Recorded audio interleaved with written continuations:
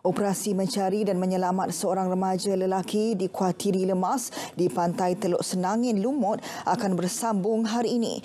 Mangsa yang lemas dikenali sebagai Muhammad Fahmi Hafizi Muhammad Fazli berusia 19 tahun.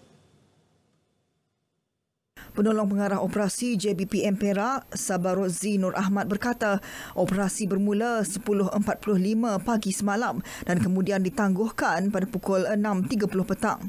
Pencarian awal dilakukan di kawasan pesisir pantai dan pukat dipasang sepanjang 100 meter di kawasan mangsa jatuh bagi memudahkan usaha mengesan mangsa. Pasukan SAR turut menggunakan kaedah pencarian di permukaan menggunakan bot selain penggunaan drone.